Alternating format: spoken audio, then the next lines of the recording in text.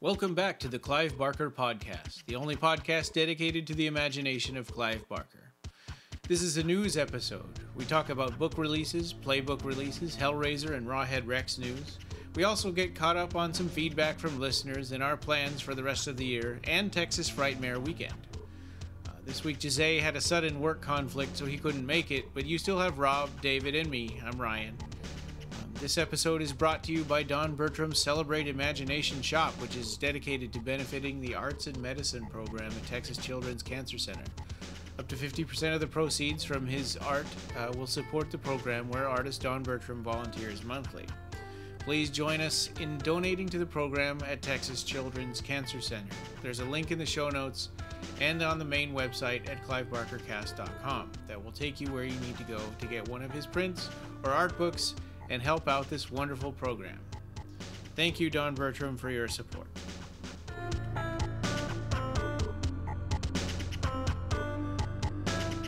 Well, welcome to episode 168. Um, I'm Ryan.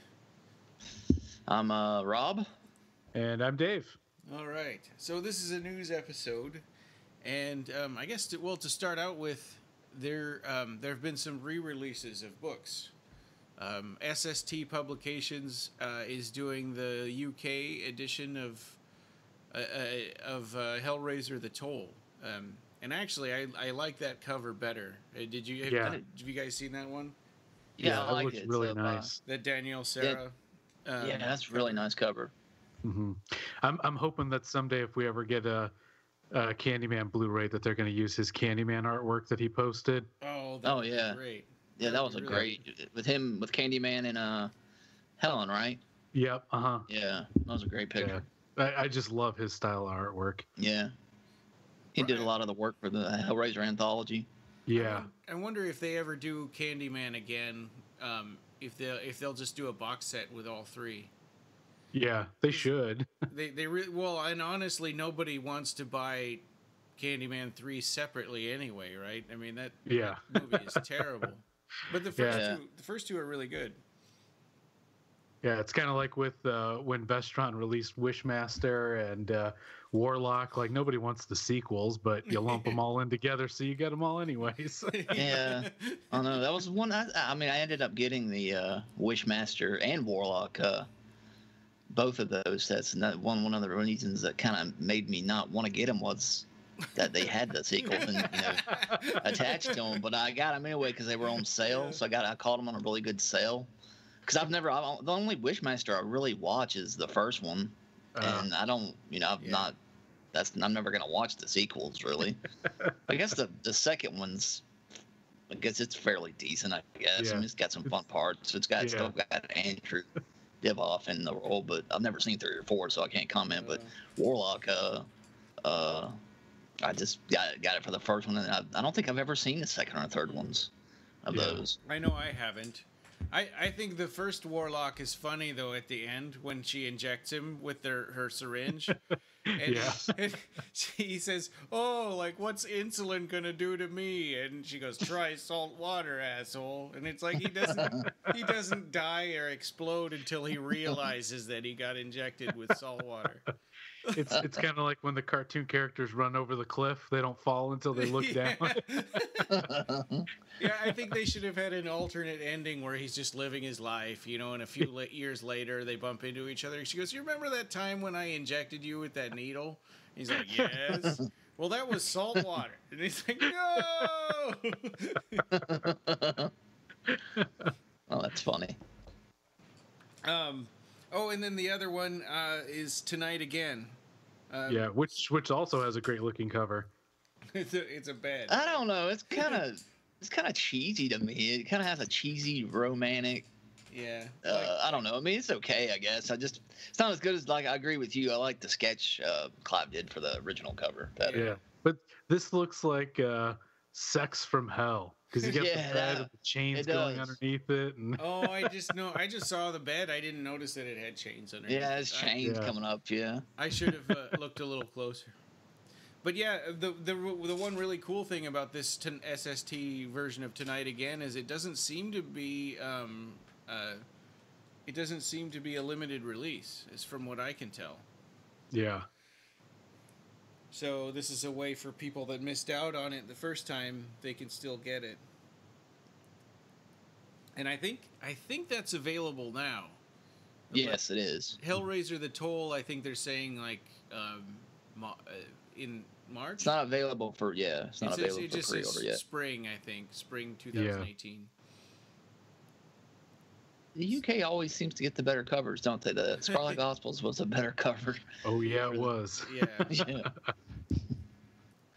But I mean, I don't mind the cover for the the one for the US. It was it was good too. Yeah. It's just not as S- Not as good Speaking as of UK covers, I guess we can kind of skip ahead to this Rawhead Rex release by Arrow. So I Yeah. think this is one case where the UK did not get a better cover. I think the the Kino Lorber uh, cover for for the Rawhead Rex Blu-ray is way better than this Arrow release one that they're. Have you guys seen Yeah. what that looks Yeah. like? yeah, I, I mean, with the Rawhead Rex one that we got here from Kino, it's got Sean Phillips artwork on there, and he's just one of the best, you know, comic book artists in the industry. yeah. But this one, I still really dig because Yeah. it kind of adds like a uh, like a pulpy sense to the film. I got you. I agree with you with on that. Kind of like an old EC comic book, you know? Yeah, yeah, Kind of vibe, definitely. you know? It, it reminds me of one of those uh, movies that you would see in a video store, and you go, "Huh? I wonder why they painted the cover of this instead of showing something from the actual movie." And you get Yeah. suspicious, like the Exterminators, or remember that one with the guy with Oh, the, tank, yeah. the tank treads for legs, and and um, Didn't, didn't show up in the movie at all, though. yeah, I mean, or like know, the- Q, the the The and- winged serpent. yes, yeah. Yeah, it's Those got like some- that '80s metal vibe to it Yeah, that you find exactly. on like a discount cassette back in the day. Or was it like the Barbarian Queen or whatever? Stuff like that, you yeah. know? And they, It was they like, looked like Conan, you know? Conan the Barbarian kind of paintings. yeah, Yeah, And and like But- but Frank either- Rosetta. up to the to the painting they have on the box. Oh, yeah. no. But, I mean, like either route you go with, both versions make Rawhead Rex look so much more awesome than he is in the movie. Yeah, oh, yeah. Far more fierce and intense. yeah, Oh, yeah. yeah. That suit needed some more uh, slime on it. This looked too clean. Yeah, Well, know, and it's so it's, did it's put- weird. He's got ripped up clothes. I mean, who made his clothes? Where did he live? Where they were making him boots and stuff? Yeah. I mean, the story doesn't have any clothes. He's just this big, you know, Yeah, all phallic symbol kind of thing. yeah, yeah. But I mean, that's pretty much the only thing that they you get come with this is it's the same uh, special features, but you're getting they get they come with like a uh, a, a, a collector's booklet hmm featuring a writing on the film by Kat uh, Angler. No, Is that's it something I think that's Ellinger. Ellinger. Sorry, yeah. We Ellinger. we get that in the Kino Lorber version as Oh, well. did you? Oh, okay. Yeah, oh, so yeah it's so got it's all the it's really stuff. the same packaging. Yeah, just different art. and it's just a region two. Yeah, And it does have a reversible sleeve featuring original newly commissioned artwork by Wes. So Yeah, is that was that who did this? Uh, the cover is this the Wes? Uh, I'm confused on it because it says it does say there's reversible oh, sleeve, original Gotcha. and newly commissioned short. So I don't know. Oh, yeah, I wonder what's on the other side. yeah. I would Something imagine more. like the uh, I think the Kino Lorber one had the old school. Um, Oh, VHS that- yeah, it's, cover. it's got the old VHS cover on it. yeah, that maroon Yeah. like church with rawheads. silhouette. Rawhead. Yeah, Yeah, Yeah, exactly. Yeah. so it's good to see that they're getting a UK release. Yeah, yeah. Fans this is a seem to really, be- really good edition. I still haven't watched it yet, but um, Yeah. It's it's a great transfer. Like I mean, it's it's so good for such a rough movie. yeah. I'm sure. I wonder if they'll do. Uh, since this is, I think it's sold pretty well. I wonder if they'll do try to do uh, transmutations. yeah, Oh, that would be nice. And David, one guy in the comments gave you a hard time. He wrote like, he wrote like UK only. LOL. They ship anywhere in the world. that is that is true, but it's in, intentional to be UK only. Yes. Yeah, yeah. I mean, and it's it's region locked, so you still Yeah. have to be able to play it if you ship it to Yeah, I mean, like, North America. And pretty much every uh, every fan of cinema nowadays has a region free player because you can get it for like a hundred dollars on Amazon. But yeah, it's just whether you want to order the stuff from overseas or not, because that's what their intent to sell is. So well, that was a huge bone of contention for people in Occupy Midian. Just a few people, but you know, when somebody would suggest, "Why don't you get a region free player?" They're like, "We shouldn't have to." I know that was the big argument. Yeah. I actually Yeah. broke down and I actually broke down and actually got a region food player because there's a lot of movies that they just don't release, haven't released here in the U.S. I think Yeah. you, you That did are that overseas. for the, for the um the Hellraiser Scarlet Box, Yeah. right? I did Yeah. that for the Scarlet Box, yeah. yeah, I did Which- the same thing yeah. too. It was only it was only a hundred dollars, and uh, you know, Yeah. and when I got that, I started buying movies that you know they haven't released over here yet. So, I mean, know, it especially worth. if I think you're it's worth it. into, If you're into giallo films, I mean, the UK Yeah. is pressing way more than any US company, even Arrow's US market. You know, I mean, I've got a bunch of the Arrow, uh, the Dario Argento stuff through uh, the Yeah. Region B Arrows. Uh, yeah, and it, like Shameless, and there's a whole bunch of 88 films. Like they all 88 press film. some really cool stuff that just they haven't gotten the rights to here in the states yet. What does giallo mean? Uh, Uh, giallo, it's a style of uh, slasher. Italian, Italian horror film. Yeah, based on like the old uh, yellow paperback, kind of like crime thriller mysteries. Yeah. So like a And, lot uh, of Gi- Dario Argento's Dario his films are very inspired by. So yeah, it- Mario Bava. Is it a lot Yeah, of Mario like ang- of of camera angles from the point of view of the killer, like breathing Yeah, heavy? yeah. Yeah, yeah, exactly. with Okay. the black leather gloves, you know, that kind of stuff. And Uh, there's like a lot of red herrings throughout the movie, Yeah. trying to get you to stay, you know, off your feet. when Very you're trying to guess Hitchcockian. Yeah. Huh. Well, in other news, um, Phil and Sarah Stokes replied to us on Twitter because so they I, I keep forgetting that they listen to us sometimes. So so this was cool. Uh, they said, in answer to your question, guys, yes, we will be publishing all of Clive's surviving plays just as fast as we can transcribe, edit, and design them. So that was on Twitter. They said that, which was nice. It's it's also really cool that we're going to be getting all of the plays. Nice. so that whole list and uh, the that was in the back of the Magician. They're doing all those. Yeah, yeah. So wow, that- that's, a great. lot. I need to update the release list on the side of the website too to include the Hunters in the Snow and Colossus. I think, or no, Crazy Face, right? Or the Yeah, Crazy Face. Yeah, they're doing a you know a bunch of stuff. They've got you know that you know they're doing, and they're doing the Imaginer books, and are they, have they are they going to continue? Uh, I recently got the third Yeah. book of oh, uh, Memory Prophecy. Memory. Prophecy. Are they aren't they going to do more of those too? I, I'd imagine they probably are. I mean, um, if you're li- if you guys are listening out there, you can answer this too. But I think, you know, it's a lot to do. so, and and I haven't even read number three yet, so I'm okay if it takes them a little while because I'm having trouble keeping up.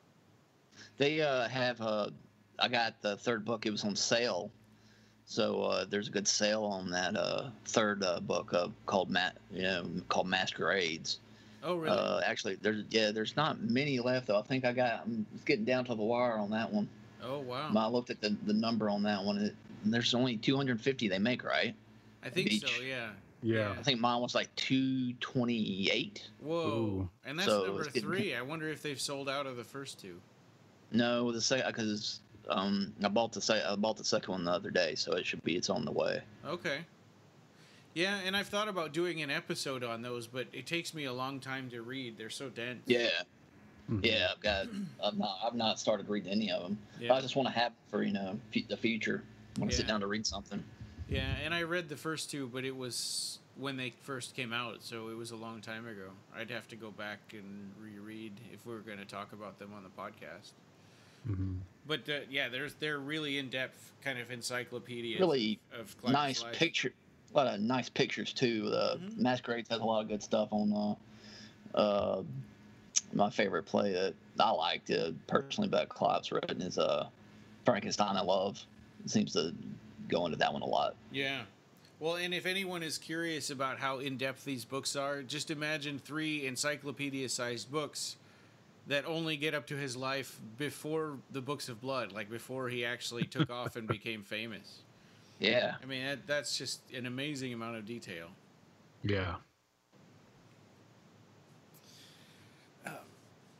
So uh, the um, the Sylvia Jen and Sylvia Soska started a, a blood drive women in horror thing to promote women in horror and also to promote uh, talking people into donating blood. I think. hmm Also Yep. to bring awareness and promote equality throughout the horror industry. hmm Something they've been doing for the past few years, I believe. Yeah. I think this is the ninth year of it, right? Yeah. Wow. Well, and there are um, so some people we know who have done videos. So there's one with Mark Miller, and um, I guess we can say his. He really hates it when people say his name for some reason. But, but the the Christian, uh, the main actor in in the in the uh, the Coming Dawn ministry. So it was uh, directed by and by Mark Miller, um, uh, the, the who runs Clive Barker's Seraphim, and uh, and then Christian Francis, who you know formerly worked at uh, worked for for Seraphim. He actually uh, co-wrote it and stars as the Yeah. the preacher in the, Yes. the short piece. And th- Yeah. that, that one's pretty disturbing. It's uh, it's like a cable access preacher yelling at you, and he Yeah, as it's- it goes along, he gets more and more incoherent and and scary. Kind of reminds me of like the old like uh, Jimmy Swaggart or something like Yes. that. You know, hmm Yeah. Yeah. Uh, guys like that. When when I was a teenager, I used to call those. Um, you, it seemed like on on regular television at in, in weird off hours there would be these um, televangelists would go on the air and just talk and have phone Mhm. numbers that you could call. So, You so I, call 'em? Yeah, yeah, I would call them. I, I, I called Oh, that's one hilarious. lady and I said, if Adam and Eve had children and then their children had children, wouldn't they have? Uh, wouldn't they be have birth defects from? Um, what was it? Oh, from from being inbred. and, Oh, that's awesome. and, and and the lady goes, "Times were different back then. I have to go," and she hung up on me. oh, that's great. You trolled them. Yes. But uh, um, but yeah, and it was um, it, this was a funny one because it was kind and it had this cable access quality, which is it's actually really hard to put like TV static into a video. If you've ever tried to do that lately, VCR, even like the most current VCRs, when you get static on your TV, it turns blue. yeah. So you Really? it's really I don't know. It's it's different. Have you tried to do it, or have you been testing things like that and noticed it? Yeah, yeah. When I sometimes when I've made videos, I've wanted to put static in something, um, like to Yeah. show to show um, like changing a, ta- a channel on a TV show or something on a TV or something like that, and and it's hard. Oh, weird. Yeah, and this has a pretty consistent, uh, like rolling warp throughout the whole tape as it plays. Yeah. Yeah. I wonder if they got an old VHS tape or something to do that. Yeah, it almost seems like it, doesn't it? But then, Yeah, Paul. but then if you do that and then you digitize it, it screws the static really screws with digitizer. You know, with digitizing VHS footage, and it just it skips things.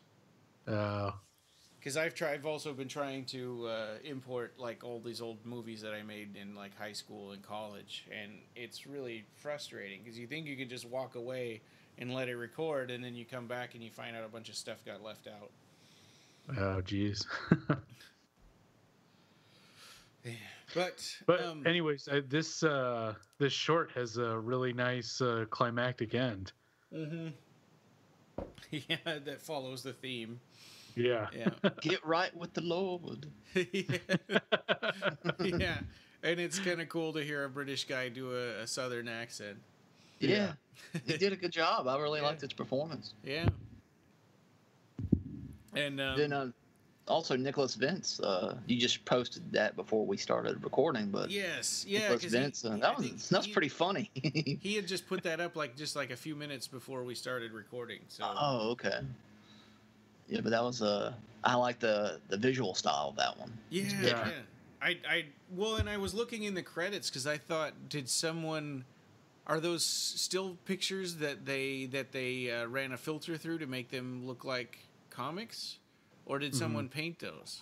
Honestly, I don't know how they. It, it looks like a filter over uh, like Barbies or something. yeah, Yeah. you're right. It look they look like uh, what was that movie that uh, the South Park guys did? The South Park guys made a movie. It was kind of like they used Oh, figure. Team America. Yeah, Oh, they made yeah. it's what it, they used like these look like Barbie dolls, but they use like uh, you're like you're right, like a, a filter over them Yeah. to make them look like. Yeah. that It, created, be. it kind of created this odd kind of movement to it all, and Yeah. It's a, it's a lot of work. That, then they had to set up like a bar and a and a and their and the home sets. you know, Yeah. for these. With with the uh, Martin poster in the background. Yeah, Nosferatu. yeah, that, I mean, that kind of Yeah. tips you off to what it's really about. The Nosferatu kind Yes. of Yeah. nice visual Yeah. visual symbolism there. But Yeah. speaking of EC Comics earlier, this definitely feels in that vein, or like Tales from the Dark Side, that kind of stuff. Yeah, Yeah. Yeah, it's kind of neat. They, they the, the comic book style sort of editing that they did too. Plus that uh, the the ending that, like you said, kind of gets tipped away from the uh, background, but you kind of know that it's going there. But still, when it happens, it's kind of like, yeah, that that's cool. That reminds me of Tales from the Crypt. yeah. yeah. yeah, it does. Yeah, that was cool. So good good work, Nicholas Vince, and we'll have Yes, links to very both nice. of those in the in the show notes. And oh, and this one is just we'll just mention really briefly, um, but there were uh, there were copies of the Cabal cut on a website called Horror Marketplace, uh, run by the person who used to run uh, Clive Barker's Clive Barker's uh, real Clive Barker store. Um, they're already the whole- gone. yeah, the horror market is it gone now? The whole, I mean, the Yeah. the, Cabal cuts are The- definitely sold out, Yeah, but I think well, the horror marketplace is going to go down if it hasn't already. No, it's still up. I'm, Okay. I've got the page pulled up, so oh, it's gonna go down though. Yeah, he told us because we, we were talking about you know working with him a little more, but um, but I think that uh, that's th- that website's going to go down. Okay. And um, oh, and this is I think largely thanks to you, Rob. But uh, Gary Tunnicliffe listened to our audio commentary and uh, and he commented on it, which was really cool for Yeah. for, um, for Hellraiser Judgment. Uh, yeah, you uh, you know, he did the interview that uh, I also had an interview I did with him. Oh, He's an, yeah. I, I really, I really like Gary. He's a really nice, kind of down to earth guy. I've got to just not talk to him, you know, through emails and stuff like yeah. that. Yeah, and, and it was But he really liked, he really liked the commentary. He had good things to say about it. He even made him kind of chuckle, made him laugh a, a few times. So he had a good, you know, definitely good sense of humor about it, yeah, and which he's was, you know, he's- cool. And he took, you know, he seems like he's really aware of the you know the limitations because due to the budget. yeah, That and he's got to be pretty proud because uh, I mean the the response back from the community seems to be the majority seems to be pretty positive. Yeah, yeah. It's there. There are some people that get really angry, and you know, say, Oh, like, yeah. if anybody Yeah. likes it, they must be a. They must be a, They're- like a. they're blind. They're blind. Love. Yeah. They're just blind. Hellraiser Fanboy lovers. I- blinders. I hate. I hate that. I've always Yeah. hated that kind of, you know, Yeah, you know, saying uh, if you if you hate a movie, fine, you know, that's great, but Yeah. don't tell Yeah. people if they if they you know enjoy a film, they've enjoyed it for their own merits. I've Yeah. watched Hellraiser Judgment ten times. I don't think I'd watch a movie Yeah. blindly ten times. That Yeah. I No. mean every person has a terrible movie that they all really enjoy, whether they Yeah. want to admit it or not. Yeah. Yeah, yeah. Well, in, in Hellraiser Judgment, I mean, everybody, I think anybody can agree that it's flawed, and I mean, I think in, in most Oh, part, yeah, for most definitely. part, Yeah. because of the the budget, you know, the budget Mhm. constraints. And then Gary Turn Tunnicliffe would also say it's also um, he also was kind of his original script was kind of censored down. Um, Yeah. But we don't we don't really know what the, those differences are exactly, but. Um, Unless he wants to give us a copy of the original script to read, yeah, yeah, which Yeah. I would be really interested to see what the what the differences were in the original. Yeah, I think that that that it was a real challenge to do all the human parts, especially. Yeah. Yeah, it's just the the the storyline with the serial killer that when it gets to that, it just kind of. I put it in my review. There's no really atmosphere to the Yeah. to all of that. It kind of like you know, with the lack of budget, it really just. I don't know. There's just I wasn't. There's no on the edge of your seat like, oh, what's it? What's this guy gonna do next? You know, it's just Yeah. you know, there just isn't anything that uh, made me feel kind of emotionally connected to that. But Yeah, it all just kind of happens. yeah, but uh, what I really enjoyed about the movie was the the well, I call them this. Well, J- Gary calls them the Stygian Stygian Inquis- Inquisition Yeah. group. You know that. You know, with the auditor and you know the Yeah. assessor, the the, the jur, the jur, the jury, and all the all those other characters, and and I liked all the the Hellraiser elements, and that's why I was watching the movie really. And I mean, uh, that's that's the only reason we really watch these movies, right?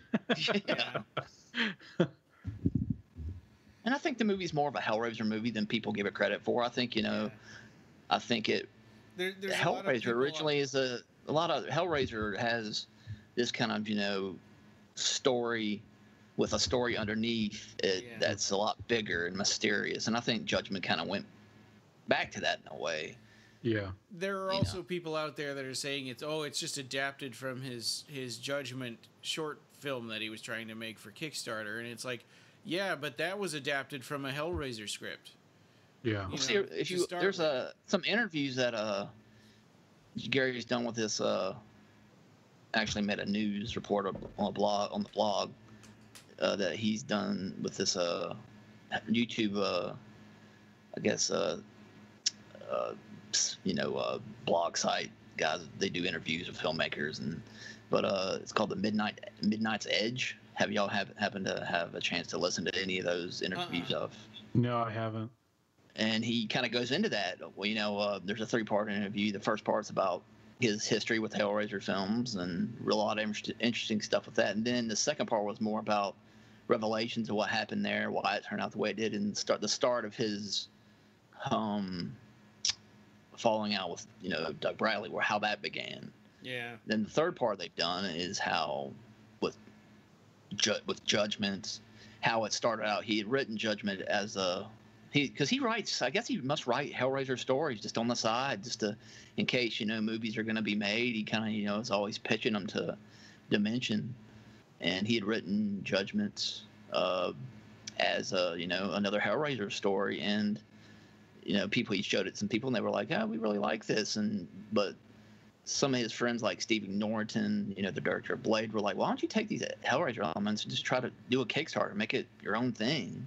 Mhm. And you know, y'all, I'm sure y'all know about that. He tried to do it and it just it failed, so it didn't go anywhere. But when uh, the rights were again looming for Dimension to keep the franchise rights again for Hellraiser, you know, that the one of the producers called him and said, "Do you have any, you know, you know, ideas for a sequel we could make?" And he was like, "Absolutely." And they gave him, you know, he gave him Judgment, and it seemed to that's what they, you know, decided to make. There's actually a lot of interesting info if you go and uh, listen to him and talk about all this stuff. It, it's very interesting. I actually feel bad for him about how him and Doug have like had a the Yeah. falling out between them. It's Yeah. really kind of sad. I hope they can figure fi- figure figure things out to work things out in the future because it doesn't really seem worth it to me to lose a fr- fr- you know the, the long friendship they developed Yeah. over some you know just silly politics. And I think Gary even is yeah. he you know is is like that. He doesn't understand why this is got to be this way. Well, and mm-hmm. I and I think that it probably, in Doug's defense, would have been worth the risk to just say, "Yeah, fine, you can just have the script. You don't have to sign this NDA." I mean, it's it was like a two hundred, three hundred thousand dollar movie, right? I mean, they could have just Yeah. given it to him. Yeah. Yeah. And one guy even says that during the interview. He brings that up. You know, Mm-hmm. brings that about. You know. Uh, So in, in those interviews, does he say, you know, where uh, Judgment kind of fell in line when he's writing it compared to Revelation? Like, has he did he write these, you know, like a while ago, and he's just been hanging on to them, or uh, did these kind he of evolve over time? He wrote uh, uh, Judgment after Revelations. And you know because judgment because revelations was a similar thing where they came up with like you know we got there's you know the producer the same producer his name is joel so Soshin or something like that i mean he's Mhm. works with dimension and uh, it was like, you know, we got to make a Hellraiser movie real quick. We got to get the rights, keep the rights because we want to do this remake. Well, and I didn't Gary uh, adapt Revelations from a, a from a reboot script that he had already written. No, that's not what I got from it at all. He had just wr- he wrote this over a weekend in, in a hotel room in Michigan, and uh, he really, uh, but basically, uh, just I, I'd go, I'd go listen to those uh, interviews. I'd highly recommend listening to them. Mm, yeah. But to answer that uh, question, uh, he wrote Judgment after uh, after the Revelations. That was something he wrote. He'd written another one too. He's not. He'd written another one. He pitched to him as well. Well, and I think because It's- of Revelations, people were a lot of people were predisposed to hate Judgment. You know, before they before they even saw it. Yeah, but he's already spoken. He was he's already been pretty vocal about what happened with the changes to the script while they were shooting it and all that. Yeah, kind he of goes stuff, into so- that. Yeah, he goes into a lot of that. And uh but uh another interesting thing he talked about was like on Hellraiser Bloodline that you know, like everybody, you know, I've always assumed that Kevin Yagher was kind of like, you know, the one that uh kind of fell victim to the studio politics and he makes it sound like uh, Kevin Yagher had a bigger part in that film's uh failure, really Oh wow! which I found to be, be very interesting. I didn't know that. So that's on the very first part of the interviews. huh? I don't know. I mean, if this is, if you can keep this off the record, Okay. I mean, well, he put, well, no, it doesn't matter because it's out there. But he, that Kevin Yagher was kind of a, like, you know, he'd made some mistakes with, uh, you know, choosing the wrong kind of DP Oh. and uh, for the movie, and the design for the movie was all wrong, and huh. that you know he didn't want to admit that he'd made a mistake and work with Dimension to try to make a better movie, and he kind of shut him out from uh, the editing process because I think as a I guess there's all these being a you know a directors guild part member, you have certain rights, I guess. He kept him out of the editing of the. He kept uh, the producers or Bob Weinstein, Bob Weinstein out of the editing for like 12 weeks Oh and wow. it was like you know, you know what I mean, Bob Weinstein didn't like that. That really, you know, yeah. you know, uh, I mean, because it's just, that's it's just that you need to go go listen to that stuff. It's very, it's very fascinating. that's that's interesting. I mean, that's that's uh, that, if that's true, that's pretty gutsy for a, a a new director, you know, to be doing that stuff. Well, apparently, uh, uh, Kevin has a a big, from what you know, Gary says. I mean, I don't know Kevin personally, so I mean, this is just from what he says. That Kevin has kind of has a big head on his Oh. big head because you know became a pretty popular you know makeup effects guy you know at a young age and he's a multimillionaire you know he's very confident and Huh. he thinks maybe you know what he did was right he was making the right kind of movie and they you know saw that some of the footage that he was doing and they were like this isn't hellraiser this doesn't feel like it feels like another type of film And actually i heard i think he said it felt like a comedy Oh. the way it was be- the Oh, direction felt like it was being shot i mean the, the way it looked not that right, he wasn't right. shot- Well, Uh-huh. the way I, it- I the can kind of see that because I think that there are some stuff, especially in the modern day shots. That's that. That's It- interesting you say that. That's the uh, that's the stuff that's Kevin's. Oh, really? Yeah, and that Yeah. that that stuff looks like it was shot for TV. That that exactly. That's what- Mm. that's what exa- that's what Gary said. Wow. Said Gary says uh, Gary's uh, Gary said that uh, Kevin's footage felt very TV. oh. As a, so that's why that stuff feels very TV Yeah. is because Yeah. you know uh, the Well, I mean, it Kevin came from the background of uh, Tales from the Crypt. Yeah. You know that was a TV you know yeah. you know show for HBO. So Yeah. But I mean, Gary's stuff sounds legit because I mean, Kevin Yagher had all those issues with uh, Sleepy Hollow when he was supposed to direct that, and Paramount ended up giving him the boot. Well, there's a whole story behind that, but I'll have to leave that off the record. Yeah. Gary, Gary told me about that. I'll have to tell you about it. okay. I didn't like Sleepy Hollow when I. Oh, I, I like I like Sleepy Yeah. Hollow. I was watching it I actually. that the- one. it I actually watched the last week. It just to me felt like a big Tim Burton set with a bunch of actors that were just explaining the plot through through dialogue. It's very visual over. It's Yeah. very Yeah. as a lot of Tim Burton film. Tim Burton And- films are. It's very visual style over substance. Yeah, and it's almost Yeah. play-like in a way, which Yeah, I think exactly. is kind of fun. It, it, it felt like a Hammer film, Yeah, and I like that. See that kind of you know kind of film. Oh, like everybody's huddled together in a room explaining the plot to each other. Exactly. That's how they, they you know they Yep. did this type of film. and I mean, it definitely is. You know, maybe it could have been a little darker. Yeah. You know, or more taken a bit more seriously. But that's Tim Burton. You're gonna get Tim Burton kind of it's a little Yeah. twisted. You know, bits of humor like that. But I haven't seen it again since it first came out. What Was that like '99, something like that? Yeah, exactly. Ninety nine. Yeah. Huh. But I was gonna say something else uh, about those interviews. Oh yeah. But he goes into uh, the last part goes into the uh, judgment, the making of judgment. So if you're really kind of like interested on the that the that front, he talks about the script how there was his original draft was more of a non-linear um, approach to the story, which I thought was kind of interesting. And there's going to be a, a final part, the third. It's part three, part two of that. They they talked to the, they talked to Gary for like six hours. oh, I could imagine. Yeah, so that one podcast he did was like four hours long. yeah. So Yeah. But that was the And he- only news we were getting about the movie at the time. So yeah, Yeah. So keep an eye on that. I'll you know po- I'll just I'll revise the post with uh, the because we had we already have a blog post about it on the, yeah, the I main site. I'll just update it. I meant to ask you about that because you said there were three parts to your interview, and I went back and looked, and it seemed like it's just one post. So you must be adding on to the. yeah, just updating. Oh, okay.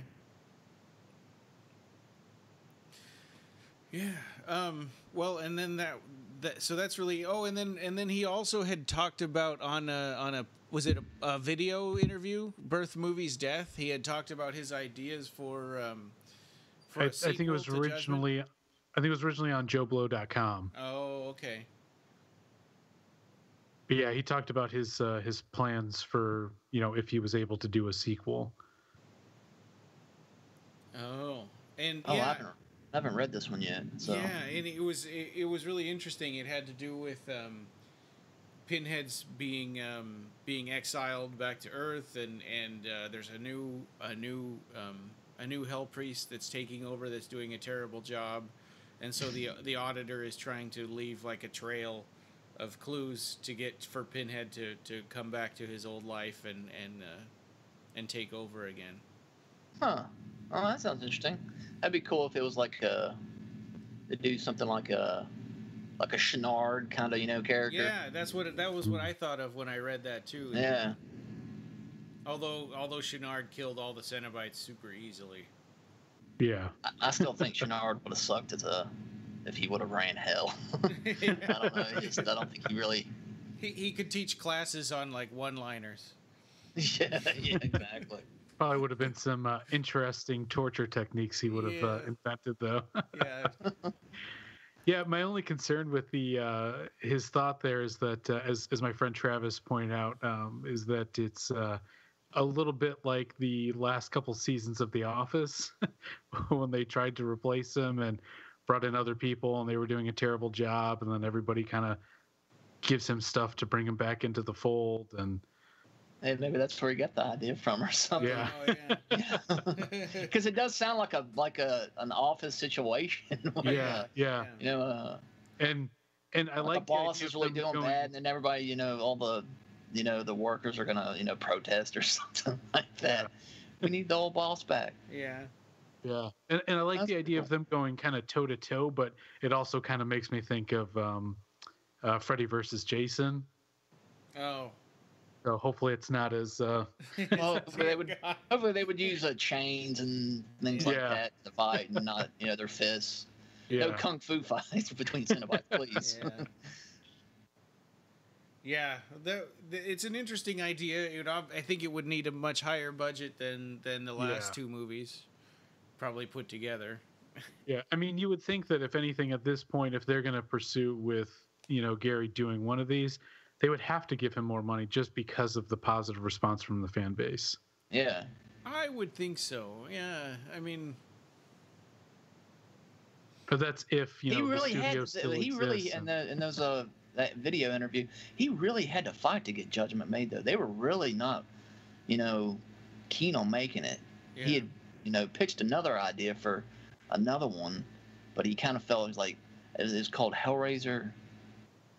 I can't remember the he dubbed it something, but Yeah, he said he'd written a more generic script, and he said, Yeah. you're, but you're not gonna make this one. You're gonna make this one." And he's and he, you know, and, and I'll give you both scripts for the same price of just one. Yeah. But let me And, do you this know- one first. What what really shocks me with this is that you have somebody like uh, Jason Blum who is kind of has like the freedom to do whatever he wants in the horror industry. He has his small little production company. They make you know these smaller budget horror films that you know I say smaller budget, but you know they're like anywhere from like three to five million dollars, yeah, and they come out and they make you know like a hundred million dollars. Yeah, hundreds of Yeah, millions. and because they're catering to the fan base, they know that Yeah. people want these type of slashers, these types of ghost movies. Now they're doing uh, the Halloween, right? Yeah, yeah. And so I don't understand why Dimension can sit back and not say, well, why don't we try to do our own Blumhouse? Like we've got this huge property. Let's Yeah. put five million into it, make a really good movie, release it out there, and it's gonna do great. Yeah, I don't get the. I don't understand. You know the mentality Well, either. and they were doing that for a long time. I mean, they weren't super great movies, but they had budgets, right? Yeah. You know, the, all the all the way five through nine, or eight, five through eight. I mean, Yeah. I mean, I just you know, I mean, they weren't huge. I mean, you know, like you said, they weren't huge, but two, three million dollars. I mean, just think of how much Yeah. better, you know, you know, oh yeah, you know, they, they, Ju- look- Judgment could have, you know, been with that big of much more money, two, they, three million they dollars. looked like real movies, and Hellraiser nine was shocking. I mean, Yeah. every, everybody thought, oh, it can't get any worse than than um, than Hellworld, and then we saw that. It's like, oh yes, it can. Yeah. And, and you know the thing is so weird is I mean if they could have put just a couple million dollars into Gary's film, this could have been a huge thing that they could have released in theaters that would have made them you know profit back. Yeah. You Yeah. think- didn't have you- to- Do you think it's not making a profit now? Well, I'm um, sure that I'm sure that probably is because I mean Blu-ray Well, it sales costs- got to be pretty decent. Yeah. It only costs what three hundred and fifty Yeah. thousand dollars to make. 350,000. So, and it was on like J- Gary showed me, it was like third in the horror sales on Amazon. Yeah, Right but I mean, behind the imagine the profit Out. they could have gotten had they, you know, given it a good push, put it out there Oh, theatrically, definitely. and not Oh, yeah, I spent you know, totally more agree than with 10 you on million that. on it. Oh yeah. I mean, I think that They're not. They're not treating. I don't think they're treating the franchise right. I mean, I might have liked Yeah. Judgment, but I still hold my my guns that they uh, that the franchise needs to go somewhere else. I Yeah, think, I- I think I that totally, if, you know. if it was Pinhead tap dancing for 90 minutes, they, you know, at on that budget they would have made a profit, right? Yeah, Yeah. I would have watched that. yeah. Yeah. I'd like to see how it ends. yeah, yeah. the credits.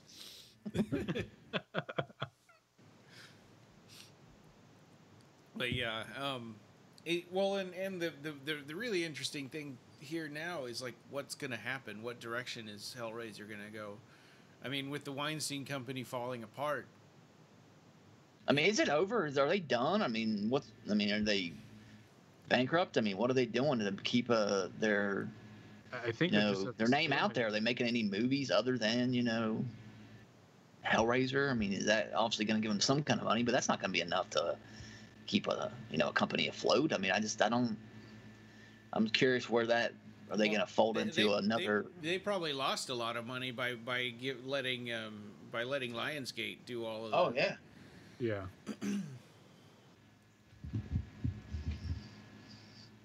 They might end know. up being I- bought out by Disney. I don't know. Yeah.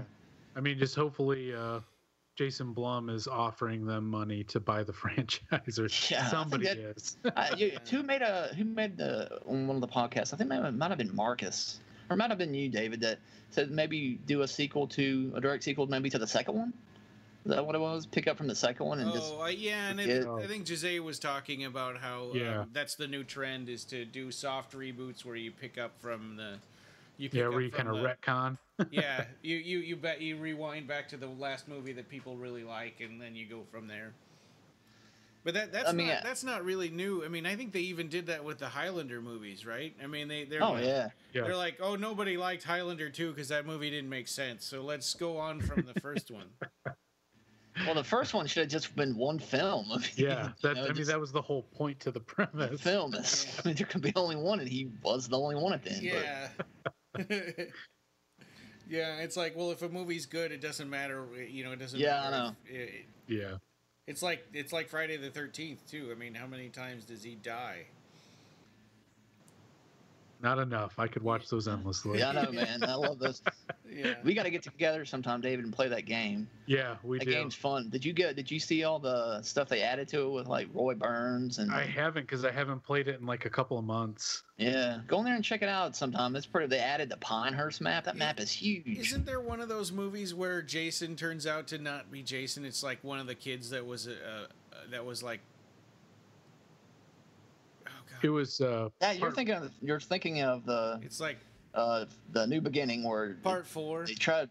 Yeah, where it wasn't Jason Part was really dead, Part and, five, and, and yeah. it was it was just Yeah. like one of the f- kids of Imposter. the family that he killed or whatever that was pretending to be Jason.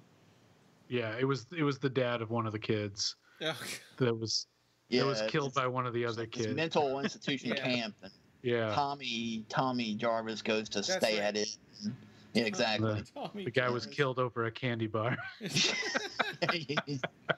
I mean, axed to death over it too. I mean, not Yeah. just killed. I mean, just chopped to pieces. But then at the end, like Jason's grave got struck by lightning, and he came out. He came out of the grave, I think. That was uh part six. yeah, the Oh. beginning of part six. Yeah, Yeah, Okay.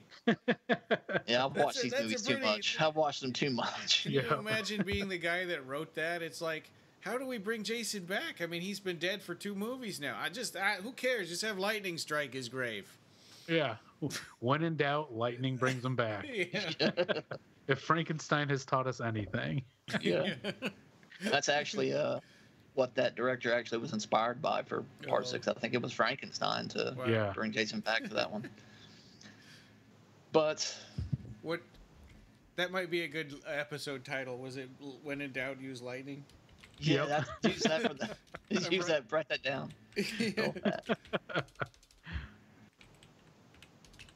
Use lightning. Okay. You know, the only time I think Pinhead was ever going to have an interaction with, uh, you know, Jason or Freddy was uh, for the Freddy Freddy versus Jason movie. The writers had written a an ending where Freddy and Jason were in hell and they're getting ready to fight, and these hooks kind of shoot out of the darkness and separate or kind of you know block them from fighting each other.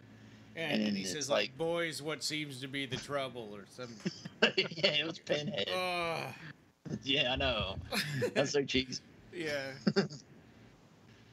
so cringeworthy. yeah, Yeah. right. It's like you know, pe- somebody that doesn't really watch Hellraiser movies wrote that. yeah, yeah, they were gonna do a Michael Myers versus a Pinhead movie, and always, you know, it was like, uh, how bad could that have been? You know, I mean, I always pictured it being something like H two O over meets like Hellraiser three. You know, and you know there was gonna. I told I wrote like a. A, a, a feature on that, you know, there'd be some kid coming up to Pinhead. It'd be set on Halloween. You'd be like, "Oh, that's an awesome costume, man. Where'd you get it at?" You know, you would know that. They, that high as a kite. just- yeah, Yeah, good. exactly. Stoned out of his mind. Yeah. Yeah, and like So- Michael Myers is indestructible and doesn't really care about pain. So what you know how what, how does that work? yeah, It's like he gets chains He- into would him. he and would he then have to solve kinda the stands would he have to solve the box? they- I mean, yeah, Uh, right. mean, having Michael solve the box is Yeah. just ridiculous in itself. yeah, Or somebody, the only way it could really work is if Michael followed them into the labyrinth or something like having one of the kids solve the box and I- then I'm he followed im- them into the. I'm imagining Michael Myers chained, you know, hanging with on the chains, and he's like looking at his watch. yeah. I mean, he doesn't he doesn't scream or anything. Yeah. Occasionally, he'll grunt. Like, yeah. Uh, d- yeah, that that sounds terrible. yeah, Um, so in in feedback, uh, Juan Quiros asked the. Hopefully, I said your name right. Asked the podcast, do you know if if Clive will be there all three days at Texas Frightmare or only on Saturday? So I mean, and and Rob, you had brought this up, and I saw it too, but I, I want people to be careful about this because I mean, yeah, it says on the on the website that he'll be there all three days, and maybe he's committed to that. But anything could happen between now and then, and it Yeah. could it could be zero days, it could be only Saturday, um, or it could be all three. Uh, Mhm. You know, I would go there. Anybody that's like, I saw one guy saying, "I'm flying all the way up from Australia to see Clive Barker," and I'm like, Oh, Ugh. wow, Yeah. wow.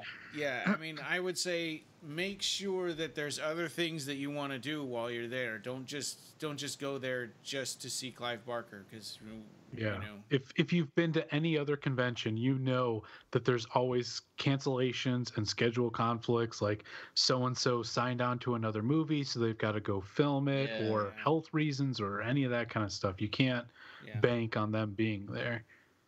Yes, yeah, and and I've talked to some people that were only going to go there if Clive Barker was going to be there, and like Ryan, what do you think? And I was like, it, I would, I would almost just suggest uh, treating it like a bonus if he's there, and Yeah. that's what we're doing. I mean, we're you know our our our main focus is you know who are we going to talk to that's there. You know, Kevin Yagher's there. We've never talked to him before. Uh, Doug Bradley, we've we you know I've met him, but we've never had him on the podcast. Uh, Oh yeah, that's what I was also going to mention. I don't know if it's in that inter- video interview or that interview with Gary T. Uh, I don't know if it's a good thing to talk to Kevin about Hellraiser uh, Bloodline. oh really? It sounds like if you ask him about him, he kind of you know just he won't. He's not very big on talking about it. So I'm not sure if that's something Okay. should. I'm just. Uh, Well, maybe we could kind of warm him up through email or something to it. I don't know. yeah, You know, if if we can say it's a, it's a bitter. It was it's a bitter pill for him, yeah. and he still holds on to it. Well, and he's not hard. he's not there for that. I mean, he's not in the picture with the Cenobites and stuff. In, in Yeah, he's there. He's there for the Chucky reunion. There's a Yeah. Chucky Yeah. yeah. But I know he's gonna get questions about it by other people. I know it's, it's gonna yeah, there, come there's a lot of Hellraiser fans that are going to be there. I mean, not just Yeah. us. Yeah. I still I, I want to try and see if we oh, can, Oh yeah. if we Oh yeah, definitely. but yeah. I mean, we we signed on for six interviews, you know, with our Kickstarter, so we can that would that would be a big help. Yes. um, and and then Doug Bradley we haven't had on, and and then of course there was this thing with Ashley Lawrence we should probably talk about too. Oh yeah. Yeah, so Ashley Lawrence went out to Twitter and said, "Hey guys, you know I really wanted to go to um, to Texas Frightmare Weekend, but I wasn't invited." And she's like, "You know, can you can you forward this and or you know retweet?" And so we did, and and Rob, you made a, a blog post, I think, right? And um, and then the the people. Well, Texas- apparently it must have been like she must have. What the way I gathered from what we were sent an email by one Yeah. of the Texas Frightmare people, and that they had discussed this with her before she wrote that tweet. Yeah. Is what I gathered from it. Yeah, and, Yeah. and it's like they're out of space and they're just trying to like, okay, for Yeah. Hellraiser, we're just doing the Cenobites, and and they've they've got a really like really concrete plan about who's coming and who's not because of space and limitations and stuff, which is too bad. I mean, I I went to when I went there in 2011, she was there, uh, and Yeah. And Clive Barker and Doug Bradley, but not the other Cenobites. But uh, yeah, I did a blog post and like, you know, saying like, man, you know, you can see what the fans can do. Hopefully, maybe you know, Yeah. you know, I didn't know that there were, had been any kind of prior discussions of like we can't, you know, maybe Yeah. what I gathered was that we can't, we just don't have, you know, we're, we're not doing this kind of, you know, it's not just a Hellraiser reunion on the site. It's called the a Cenobite reunion. Yeah. That's how Yeah. he described it. and and, and, and uh, Ashley Lawrence. I linked, uh, like, really it- likes. you know- Go ahead. I was linking it to, you know, to their Instagram, Mhm. the Facebook, and Yeah. uh, what a Twitter. And I don't know, maybe they got lit up with a bunch of you know emails or something. And well, our, our had Facebook had like twelve hundred uh, views on it before we took it down. yeah, Yeah, and and I think, well, and and Ashley Lawrence, I think especially wants to go if Clive Barker's going to be there. Yeah. Um, she's really, really likes Clive Barker and really appreciates, you know, that he took a chance on her and and you know, Oh, yeah, started her career and and she um, any chance that she gets to meet him, she usually takes, and I can see why you know she's really pushing to go. Oh, And, definitely. You know, and from my own personal experience, she has a super aggressive like publicist. So so if you're at her table, he'll be like, "Hey, how about what? We want to buy one of these? How about this? You want to buy one of these too?" Oh, really? Yeah. I've never, I've never, I've never met her, so they, Yeah. so it's. I don't know if he's if she still has that guy there, but he was. Uh, Russell had talked everybody else into giving me free, um, you know, free autographs because of Occupy Midian. Uh, but she, but Ashley Lawrence's publicist publicist was like, "No, we're not doing that," and uh, and uh, and then Claire Higgins pretended like she didn't hear that already, so which was a really awkward conversation for me Oh no. yeah, and so I, I got like an autograph from each one of them. But I had huge stacks of things that I was getting signed by everybody, and then I get to them and it's kind of short stop. Like, well, I guess I'll pick this one, and and then her Ashley Lawrence's publicist is like, well, how about this one? How about one of these? How about this? Oh, he's really trying to sell Like, pictures, yeah, huh? yeah, well, you know, it, and it was like Sunday, so he's like, how about if you buy this and this, then we'll do this one for free, and Oh wow. yeah. Jeez. But yeah, on Sunday a lot of people are gone and they're starting to pack up and stuff. So, but yeah, um, so maybe there might be a monetary. You know, that they, I think people make a pretty good amount of money from one of these conventions. Like you know, um, somebody had told me that um, Robert Englund will make will clear like thirty, forty thousand dollars in autographs at a at a convention like this. I think Doug, Doug usually clears a lot too. I You know? imagine, yeah, yeah. He's he's pretty. He's right up there with uh, with Freddy in terms of I think popularity and stuff. Yeah, at uh, Days of the Dead Chicago on Saturday, if you didn't get there early, you were in line for a long time Oh, for for which person? for Doug Bradley. Really? Was he I mean, doing like, the? Was he doing he the was- pinhead experience? No, well, they had the uh, the photo booth and everything, but I mean, he was just treated like a rock star the entire time he was there. Oh, yeah. he also had the panel and everything. It was, I mean, it was cool to see, you know, him get treated like that. But you know, it's, I've never seen I it. mean, like it was a long line. I I've seen him um, maybe four or five times in conventions, and it's Oh. always been like there's no line. You just walk up and talk to him. Oh yeah, yeah. See, I got lucky because uh, there I was probably about um, three quarters of the way through the long line that was lining up just before the convention opened, and then everyone stopped and was looking at all the stuff at the front, and so I just walked right past everyone and went straight to uh, his signing area. So I was like the second Oh, person yeah. there. Oh, nice. But then by lunchtime, the line was even longer than that, you know, early morning entrance line was Wow. just to see him get his autographs. So. Does it Yeah, the start at like four in the afternoon on Friday, Texas Frightmare? Yeah. I remember when I went to um, I, one of these conventions. I remember just kind of sitting in the hotel lobby and waiting until they would let me in, and then I'd made a beeline for Anne Bob. This was the Mad Monster Party, and I made Uh-huh. a beeline for Anne Bobby and Craig Sheffer. Like I'm gonna beat the crowds, but they're you know they weren't really crowds. But, The time I met Doug was at a Dragon Con, and he was sit, sitting next to like Kenny Baker and the Star Wars guys. It was like a, uh, like a British kind of, you know, you know, I guess theme to that side of the, uh, I guess side of the building where they were having they, they, having. they, uh, they segregated Dragon Con. I mean, I don't know. It just seemed like that because it had, you know, David Prowse there. You know, uh, guy played. Uh, just it was, it was all very British. Did Did you get an autograph from David Prowse?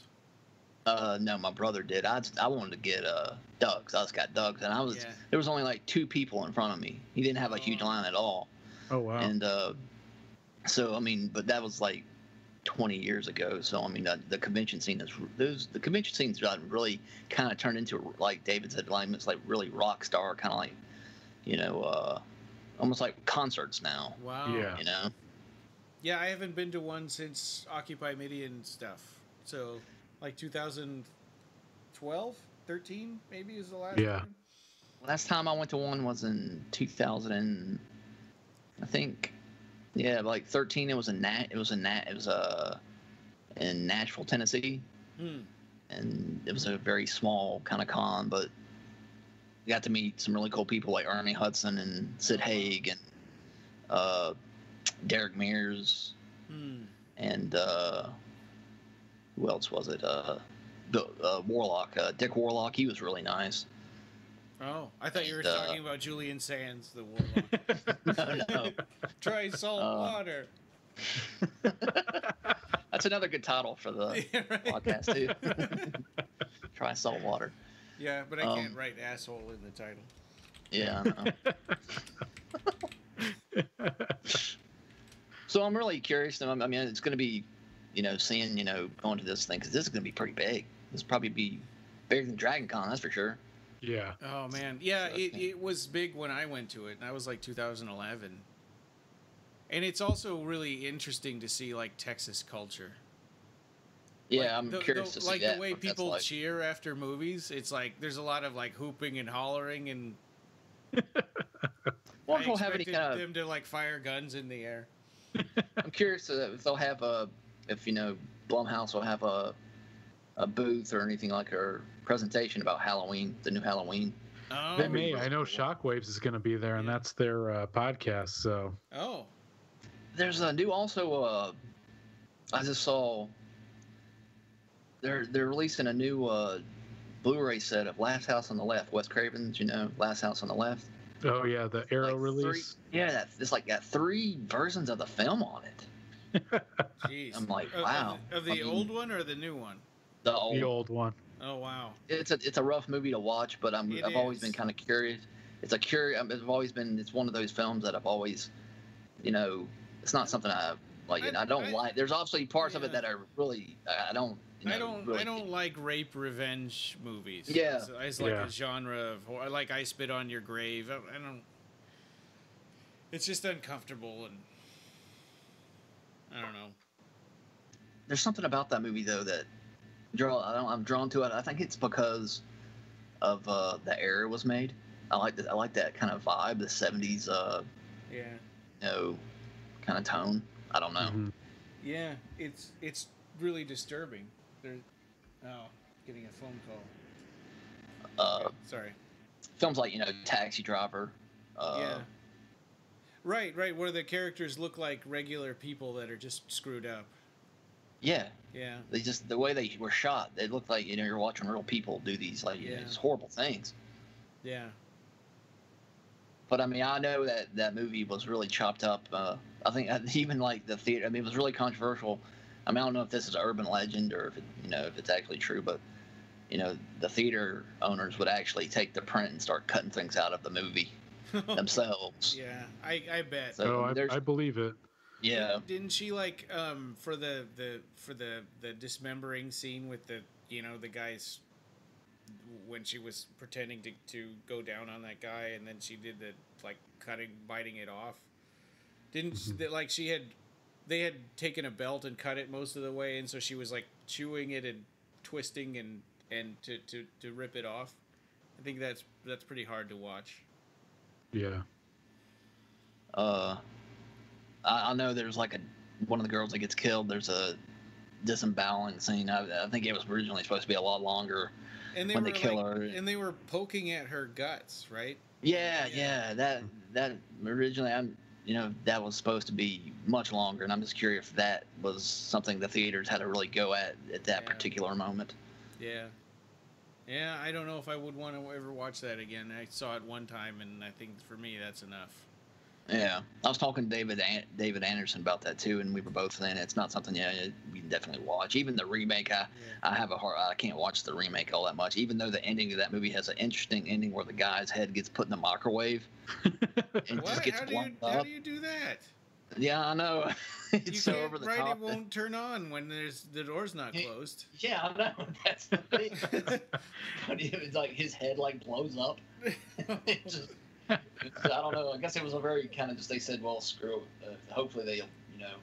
you know, Yeah. They'll buy into this since these guys are just horrible people and they've treated these Yeah. people horribly. They'll just buy Right. into. this Right, you situation. could- Kind of like, so kinda like Jaws, you know. I mean, because Jaws, come on, Jaws is one of my favorite movies, but a shark can't chew on a air tank. There's no way. you can- but you really don't care because you just want to see the shark, you know, dies, you know, die. Yeah, Yeah. they had a Kinda MythBusters on that uh, uh, episode based on Jaws. There's no way that well, would happen. well, and based on based on then I haven't seen that remake, but based on what you're saying, you could take a microwave and aim it like a gun, and shoot people with it, right? no, I don't. Well, I, I- yeah, I guess if you're gonna, the, the, what they're using it as just a weapon of, you know, just yeah, just absurdity. Yeah. how they want to kill people. Yeah, I guess so. Yeah. Suspend disbelief. Yeah. yeah, that's really that suspend disbelief is really what they were doing there. Yeah. Wow. Um, well, we got one other uh, comment. Actually, it's a big long one on from YouTube. He said, "Since you requested at the end, I hesitated to write this, but I'm a new subscriber and haven't followed you since the beginning, so I have uh, no idea if all what I'm going gonna suggest has already been done. I've become a hardcore fan of Barker relatively late, and I'm still making my way through his work. Anyway, let's throw this against the wall and see if something sticks." Political Barker. This will sound odd, as nobody in particularly is particularly prone, me neither, to see Barker's work as politically or ideologically charged. Get back to that, but although he has been on the Bill Maher show during the '90s, there are books and that I wonder if could be seen as direct confrontation with the environment that surrounds him. I'm planning to read this year Coldheart Canyon, and I wonder, having read reviews and descriptions of it, how uh, it fits the current climate in Hollywood and Weinstein related scandals. Um, I've never read Coldheart Canyon, so Yeah. I, I can't comment on it- that. it's it's really um, at the heart of it. He was. It's really about like the corruption in Hollywood, and um, Oh, I mean, there's even one passage in there where where he says like you know you can't get a script. If you get a script written, you, there's no guarantee that the person reading it won't be high on cocaine or have you know have their he said their dick in somebody's mouth or and uh, it is you know it is it is, does really fit the current climate climate of Hollywood. Hmm. wow, that's Yeah, I mean the the thing we'll be revisiting Coldheart Canyon this year, but the thing that bugged me about that movie is it just or that book is that it just came off so angry. You know, and it's not like his other his other books in that way. It, it came You off think kind maybe of the angry, anger was- a- angry and maybe- sarcastic. maybe angry because of you know towards that kind of you know you know the climate out there and how people don't want to be creative maybe I how think, they just- no, I think he was. I mean, I think personally he was going through some stuff. I think his father had just died, and uh, oh okay gotcha Yeah, and and his frustration with you know getting films made and the process of having to deal with you know yeah maybe that was what i was trying to get s- maybe get studio. Maybe- notes and their and their you know their dumb ideas and things and yeah. and people screwing with their with his yeah. I mean, I think that that's all that's a part of it too. Yeah. well i might have to read that soon Yeah. because Well, I mean, I've we'll, got it. we'll be It's doing an about one- episode on it this year, so i mean i've not read there's a couple books i still haven't read and that's Gal- galilee which you have an episode coming that coming up soon and yeah.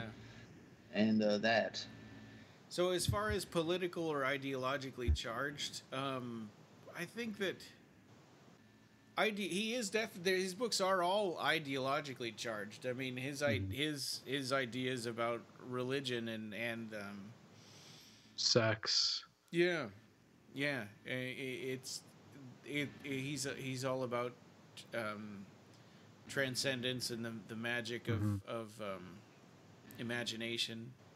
Yeah. uh, but politically, I mean, he used to post on on Twitter and Facebook all the time, and you'd get a really good sense of his political, you know, and ideological ideas. Uh, he doesn't anymore. I think that that he got tired of the you know the backlash, and uh, you know Well, what was the one tweet, or was it a tweet or a post he made? And like, you know, when are you coming out with a, well, some guy wrote a comment, Oh. basically saying he was Stephen, he was Stephen King. Oh yeah, he said he said "Ri- write the sequel to Cujo. yeah. Yeah. God. yeah. Well, and, and there was that, and there was like he would write a big long story, um, explanation of something, some crazy thing that happened to him, and, and it's in all capitals, and people would say, "Oh, hey guys, Clive Barker got hacked. Don't read this." You know, Clive Barker is a is is a really good writer. Why would he write in all capitals? Wow, that's I didn't see. Last time I was Yeah. not Yeah. on And- social media and didn't see all that. And and around that time, and we were warning people like, hey, if you do this kind of crap, he's gonna stop. T- he's gonna stop talking to us. And that's what happened. And he did, yeah, And that's sad. yeah, hmm yeah. I mean, we all know Clive Barker is a good writer, but nobody ever claimed that he was a good typist. And there's a difference. Yeah. He writes his by his books by hand, Mm-hmm. and uh, he's not he's not technologically um, advanced. I mean, I think whatever he does is probably not on a computer. It's probably on his phone. Whatever he used to do on social media, you know, on Twitter, he would he would get on Twitter and say like, it would be like one in the morning, and he'd be like, "Hey, all my friends on the Twitter tree," and he would give a little update. Um, but yeah, I mean, I think that, uh, and and there were people he would talk about. Um, he would when he would talk about his life, or you know, his, his people would get up on there and go, "Oh, I didn't, you know, I just want you to write horror books. I don't want you to, you know, I don't want to hear all this gay stuff." You know, and it's Mhm. like, well, that's his life, and uh, Mhm. why can't he? He could, he should be able to talk about whatever he wants on his page. And I, I had people, I, I wrote a, a story about that on our blog. It's you know the ten things Clive Barker fans shouldn't do. And Yeah, yeah. That's that's gotten a lot of responses through the did, blog, yeah. the the comments section on a, that. lo- a lot of angry people too. I mean, there were there were a lot of people saying like, I think you it's a great. I think it's a great article, though. I think it spoke a lot of truth. and they were like, "Oh, you can't censor me." It's like, well, that's not. I'm just telling you my opinion. I'm not censoring. I'm just saying it's a bad idea because he's going to stop talking to us. And Yeah. he did. Um, so yeah, Clive Barker can and has gotten political, but his uh, his ideas are bigger than just like you know, just like kind of an you know an anti-fascism you know story or whatever. hmm it's it has more to do with um, you know the human condition, I guess. Uh, he said, "I think this would be an interesting topic. Clive Barker's faves. I don't know if Barker watches, reads a lot of horror stuff during every year, uh, but it would be nice to gather and comment on all his faves from now and before, both in film and literature, year by year. Asking him at the end of the year about it about this would be nice." Um, to that, I mean, I would say if you want to learn about his favorite stuff in horror, he's got Clive Barker's A to Z of horror, and Mhm. we did we did a long series about that, um, and that's a and it's a good book. I think you should go out and buy Clive Barker's A to Z of horror. Um, what Clive Barker does a lot right now is he watches a lot of documentaries. You know, he watches nature documentaries. He watches a lot of documentaries about like World War II and World War One. Oh yeah. Um, he watch he keeps up with movies too. I mean, he gets copies of uh, he just having visited Seraphim. Uh, the people that work at Seraphim make runs to you know, and they buy like every comic book that there is and bring them up. I don't know if he reads all of that, but I think he, he reads a lot of comics. He That's cool that he, you know, still in the comic books and stuff. Because I know the first comic book he bought was like Batman issue one or something like that. Oh, wow. Not issue one, but uh, it was a Batman comic. So Oh, really? I'd love, I'd love to talk to Clive about Batman because that's my favorite, you know, comic book character. I knew he was into Marvel. I didn't know that. I didn't know that about Batman. Yeah. Hmm. I was reading that about uh. Well, I'm sure he is into Marvel too. I just remember him. Uh, what's that? Uh, the kind of biography book he did a the Dark Fantastic. Hmm. That's where I got that from. So, I'm sure he loves Marvel too. He's just into comic books in general. But I just that just struck it struck me because it just you know how much I love Batman as well. some of the things that um, some of the things that he likes kind of creep into um, creep into the recent works. Like there was one time when Clive Barker had watched a documentary and there was a, a tree that had people hanging from it, um, like fruit, and he he he um, and he was in sort of sort of inspired by that, and he said, "Hey, Mark." You know, I want this to get into the next Hellraiser comic. You know, when they were doing the Boom Hellraiser comic, so it did. Mhm. So I think that um, there's a lot of little little things, you know, that he likes, and and um, but yeah, we don't. And and reading Phil and Sarah's interviews, sometimes you'll get little hints about the things that he's interested in, or the, or the things that he's doing, you know, or watching at the time. Um, and then his last thing he said, unfinished business. Barker has mythologies that have no closure yet, but Barker has said that not giving closure is sometimes preferable. I don't remember that quote, but okay. And he says, so is a real necessity to write a third, the third book of the art and second book of Galilee. It's an interesting topic to discuss. That's all, folks. Greetings from Spain. So um, this is Raul, is his name. Uh, Raul three on on YouTube, but. Um, uh, unfinished there's a lot of unfinished business. It's been really um, frustrating to the publishers because he starts out like saying promising okay i'm going to do a sequel to the great and secret show. I'm going to do a sequel to cabal and he'll have like a five year plan and and then he just kind of whatever inspiration takes him that's what he writes. Uh, so the sequel to cabal never happened. Um, you know and I think for the most part, people have kind of given up on that one. He said in interviews that he's not going to do it. Uh, the third book of the art, he's still working on. Um, uh, Galilee, he doesn't ta- ever talk about. I don't know if that's ever going to happen. Um, what else is there? The, uh, Abarat, he's working on. Abarat is tough. He he um, he's really hard on himself with Abarat. He'll write a whole draft of a book and then throw it in the garbage, which is why it takes so long to for them to get done. Well, this new one, he got a lot of the paintings done. to- Hasn't he got a lot of them done for Yeah, this? Uh, I think there's enough paintings for the whole rest of the series, oh, okay. but but I don't know. Um, Yeah. No. Is there anything that you guys are you know hoping will come as far as like unfinished business? I'd like to see the third book of the art.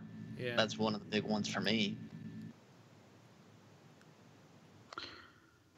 Uh, Like nothing David. from me. Uh, I mean, I just want him to work on whatever it is that he wants Yeah. to work on. that's Because I mean, you know, if you get just because you get a conclusion doesn't necessarily mean it's going to be good if the artist isn't that into doing it. You know. yeah. Yeah. Yeah, right. I mean, and and um, the Scarlet Gospels. I, mean, I don't know how much of that was done due to pressure from the fans. Yeah. Um, I I really like the Scarlet Gospels, but a Hmm. lot of people complained about what could have been because it was Yeah. such a huge, uh, it was such a huge book of notes and and narrative, and um, it was uh, it was edited down to to something shorter. Yeah. But, But that's uh, what But that's th- what I'd really like to see. anybody ever asked him is like whenever he talk about anything. When's Scarlet Gospels coming out? You've been talking about that since like 1990 or whatever, and or not 90, Yeah. like 98 or something like that. I'll tell you what, man. I would I would give one of my legs to just be able to have a copy of that book of notes. Oh, yeah. Yeah. I yeah.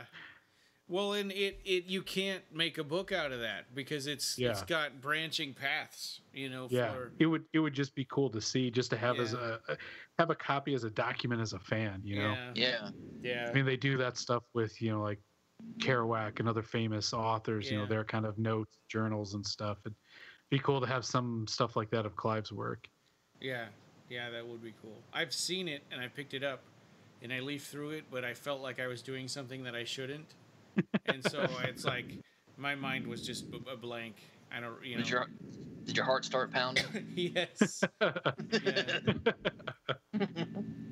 But yeah, I mean, I know it's real, and anybody out there that says that the that the hell that the Scarlet Gospels is ghost written, that's not accurate. I mean, it's yes, it was heavily edited, you know, for, but it's edited from material that Clive Barker already wrote. Yeah.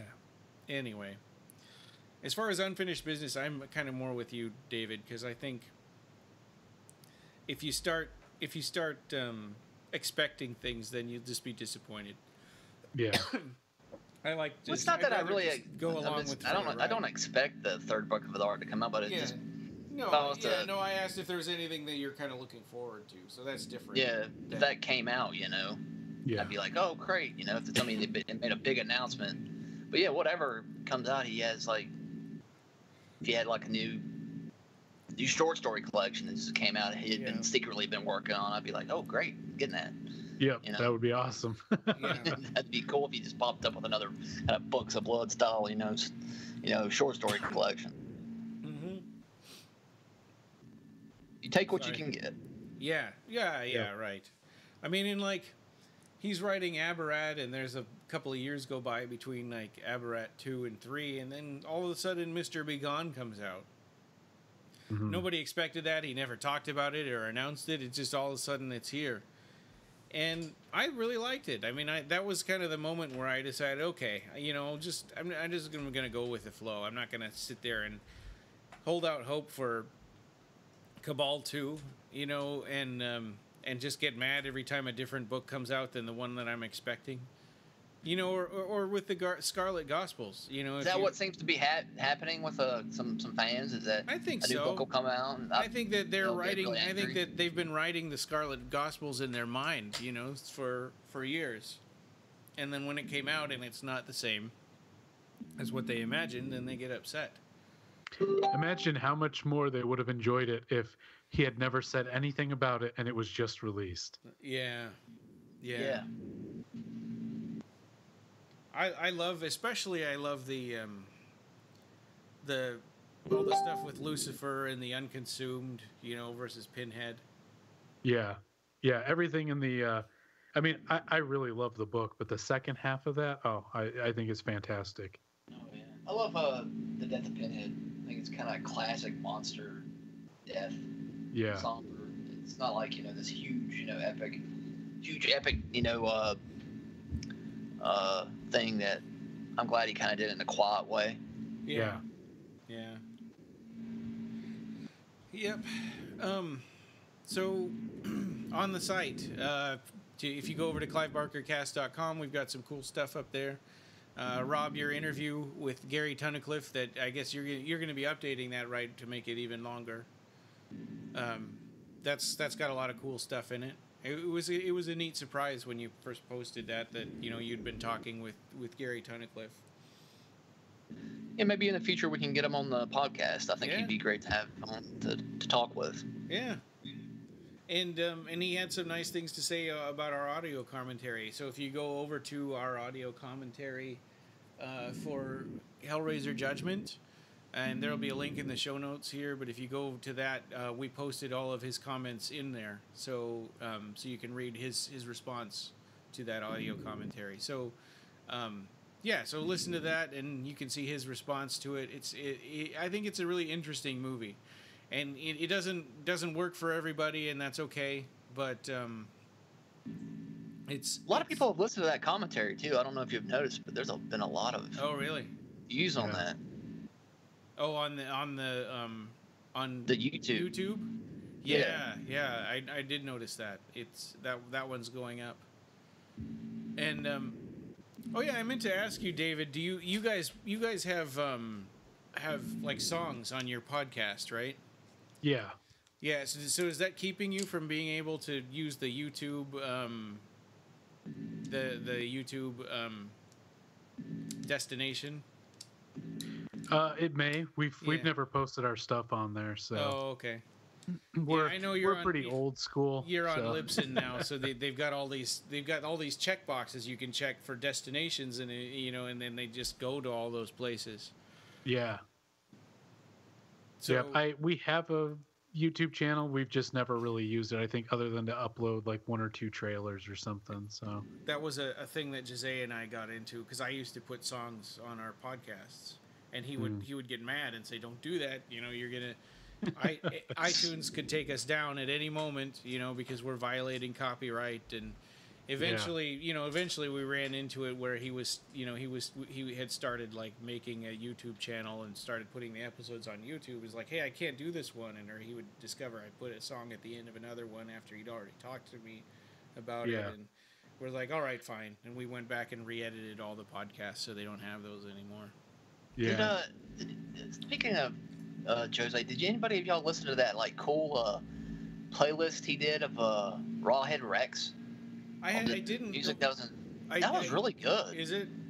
Yeah, Yeah, I was thinking about songs. he created it. He created it through a set site you can go and create your Oh, own was like it uh, Uh, Spotify? Spotify. yeah, Spotify. Uh, it's on the site. Give so if you're you know into like really kind of Celtic kind of music and yeah. Weird, strange kind of you know music, and go give it a listen. It really fits the story. I think it'd be good music to listen to when uh, uh if you're reading it from the book of reading, giving it a read. Uh, that's a good idea.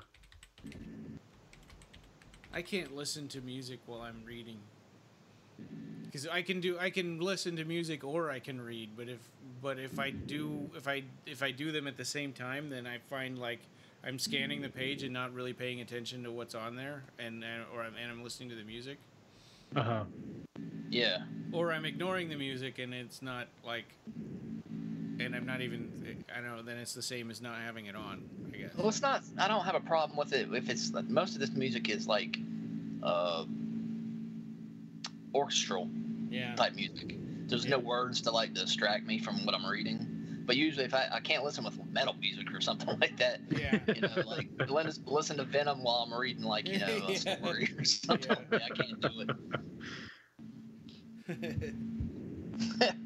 But yeah, go check that out, guys. It's really good. Jose came up Yeah. with a good list. Yeah, I, I keep meaning to. I got to get that added to my Spotify list. I don't. I never use those um, streaming. I always still just listen to CDs or like s- stuff. Yeah, me from too. iTunes. Yeah, it seems like Best Buy is gonna stop. Now they've getting they're getting rid getting rid of uh, CDs. CDs now. The last Yeah. time I was at a Best Buy, their CD selection was horrible. Oh yeah, yeah, it's it gotten looked, worse. it It, doesn't like surprise Walmart. Yeah, me. Yeah. So I'm sure Walmart will probably probably follow, and yeah.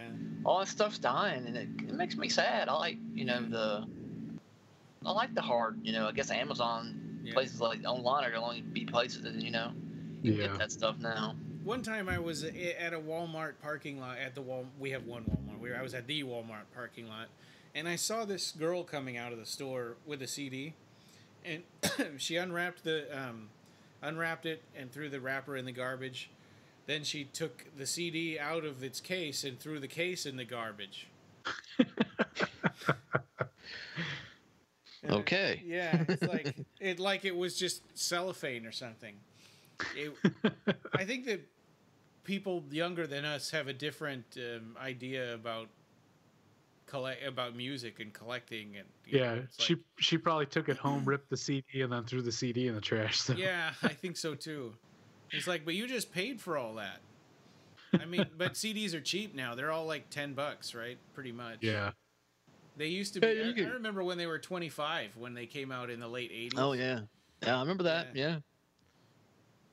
Those big ass cases that came in. Yeah. Oh, yeah. yeah. the, the long boxes. Yeah, the long boxes. I took. I all- still have some of those of uh, my Queen CDs. Oh, man. Oh, nice. I oh, took that's all cool. of my Slayer long boxes and and I made um, in a marketing class. I made a brochure about uh, about going to hell for vacation. so like I took the Hell Awaits the the Hell Awaits long box and cut it all up and and made like it made a brochure out of it. Oh, Nice. sweet. You still have that? I'd like to see it. No, it was like um, it, it, it, it was like spend hours of fun in the sun with friendly natives and I got a D on that. You were always getting kind of like picked Yeah. on by your teachers because you're actually doing things that were a little, Yeah. I guess, not, Yeah. no, not, I guess, considered part of the norm. And I would have loved that stuff. We would have been great friends in class. my my teacher was the marketing teacher was like, "Oh, great, Ryan, nice. Oh, yeah, tell he told everybody me to that- go to hell." That's not getting the joke, I don't think. Yeah. yeah, I mean, honestly, I think I was just trying to, you know, have some fun. Yeah. Yeah. and- It's and more and- using your imagination. And marketing is harder when it when you're marketing something that's terrible. Yeah. Yeah. I don't know. But um so yeah, there's Jose's Spotify playlist for Rawhead Rex. Uh, your Hellraiser Judgment review is up um, on the website, so read that. If uh, there's a lot of people that have been on the fence, I mean, this more than any any movie I've seen in a long time has a lot of people saying, "Hey guys, should I watch Hellraiser Judgment?" And then you get a mix of some people saying it's the worst Hellraiser movie ever made, and then some people saying, "Yeah, you should watch it. It's good." And I like that kind of diversity. Yeah. I think it's kind of cool to see that. Yeah, as long as they're not judging people for you know liking it. Yeah, I know. That's Yeah. what the, the, the bullying the, the bullying of opinions is what you're talking about. yes, Like right. Yeah. Yeah, Oh, bullying if, their if- opinions If you like other it, you must be stupid, or you must. Yeah. Yeah. My opinion matters, and that's it. Yeah. yeah, right. exactly. It's all about But I'll- me. Yeah. But I'll tell you what, though, I, I really did not like Judgment, but I've watched it four times. yeah, you're a trooper. yeah. So I mean, I mean, the more you see it, the more you start to like it, and you can kind of get past, you know, whatever your hang up is for it. Because some people, it's the acting or this or that or whatever. But The one Um, that I've- the one that ju- mystifies me is that it's a ripoff of Saw. Because I Yeah. mean, I but I can't comment on that because I've never seen Saw, not all the way through. I've seen parts of it and then I left the room. yeah. but I mean, you know, like I've I've gotten over a lot of my hang-ups, and after the fourth watch, I'm kind of like, yeah, yeah, I kind of like it now. yeah. yeah, I've watched it like uh you know, close to ten times. So Wow. I mean, I, there's something about it that I like. Definitely. I, I've I mean, clearly there two must be something to like if we keep revisiting it. You know, Yeah. especially if I didn't like it yet, I still keep going back and rewatching it. yeah, right. I, I can no longer keep saying that I don't like it because I keep watching it. well, and, and even if you don't like it, there's some really sort of weird, intriguing stuff in there that is not. It's not formulaic and and you know in a s- in a stupid way. Like Hellraiser Eight had a lot of really you know tropey kind of you know killing teenagers kind of stuff in it. Yeah. Yeah, Gary really talks about how much he hates that movie in his interview. Hey, he thought that was the end of the franchise right there. The, well, and, and and I had only seen it once when we then we talked about it for the podcast and and uh, we did it we did both an episode and an audio commentary. yeah, and that was one of the worst ones. The I mean, more the you watch that, the less it makes sense, right? Because there, yeah, it doesn't make any kind of sense. yeah, there's a lot of there's a lot of stuff that on rewatch, it's like, wait a minute, you know, this is supposed all supposed to be a, a drug hallucination. So why are they seeing stuff that's from somebody else's perspective, or yeah, you know, see, there's scenes where they weren't in the they weren't there, and and like a ghost called the police, right? yeah, I don't remember, man. I mean, it's like I said, that film's kind of, you know. I just the only thing about remember that movie is Doug holding like a meat cleaver and cut somebody's head off, and it just Yeah, was like, that, that's Gise's most hated part of it. yeah, I know that's the part where I'm like, And That's like- you almost forget turn- that Superman was in it. yeah, right. yeah, Yeah, he weighs about a buck oh five, and yeah, Yeah. right. you know, Yeah, I have not watched Superman versus Batman or the um, Justice. What is that called? The new one, the the Super Friends movie. Justice, Justice uh, League. Justice League. Yeah, I like the I like both of them. I, I enjoy those. Uh, give them a chance if you you know see them on TV or something like that. yeah. I had somebody. Oh, somebody told me Superman died, and I was like, well, I guess I don't need to see that anymore. Oh, that sucks. yeah. I had the same thing God. happen with the with the um with the new You got to be careful. The be careful Logan going on- movie too. That happened. Oh, that sucks. Oh, jeez. Like, you got to be careful going on. YouTube too, because people will like film, you know, film scenes in the movies, Hmm. Oh, act- in yeah. actual theaters, and then they'll Yeah. post it on YouTube and they'll, you know, name it, you know, like in Planet of the Apes, you know, I, the newest newest War Planet of the Apes, the guy Yeah. Caesar. Have y'all seen that one? Uh, no, I want Yes, to. yeah. though. Well, okay, well, I I'm only not, I'm not the saying first nothing. of them. Th- That's a whole trilogy now, right? Yeah. And it's I've a only, I'm not gonna say- I'm not gonna ruin first One, I think. Yeah. But But just be careful going on YouTube. The point is, Yeah. is that people will spoil things in videos. Yeah. You just go on Facebook YouTube is and even it's just- worse because they, they, they do that when you you know when you write something really short and it's got the big print and the flowery background or whatever. You can't just scroll past that. I mean, if you could, if you've got more than like a third grade reading level, you're reading it as you're scrolling past. Yeah. So that's where I get. It, it reminds me when I was a teacher, I had kids writing journal entries, right? And you know, I would just their grades were based on how many pages they would write, and I told them I'm not going to read your journals. So I'm scrolling through, counting pages on this one person's, and I saw Ryan is a asshole, like, and it took up the whole page. and and so I, I confronted them about it and they said you promised you weren't going to read these journals and you just read that and i'm like how can you not read that God. Wow. there's another possible episode title Yeah, you got a lot out of this one. actually Uh. I'm, I'm facebook friends with her now um, nice. yeah but um gosh man um where were we at Forgot. Uh, the forbidden, the forbidden audio commentary now. Oh yeah, yeah. So we did an audio commentary for both Salome and the Forbidden, um, and that kind of leads into our general Kickstarter update. So um, I shipped out. Ev- Jose and I both shipped out all of the stuff around February seventh, around that week. I mean, I yeah, there was so much stuff that I you know just couldn't. I didn't have the wheelbarrow to, to take it all to the post office at one time. Uh, so it was over the course of three days that I shipped everything out. Uh, I made one mistake because somebody bought multiple things and I didn't I didn't get their last thing in the in there, so I'm going to be shipping that out here really soon.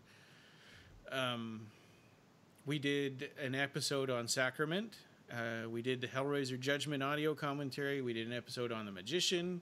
We did Salome and the Forbidden audio commentaries. Uh, we did an episode about Clive Barker, The Art of Horror. So we're kind of really moving along through our our uh, goals. And um, the iOS and Android app, I wanted to talk about that really quick.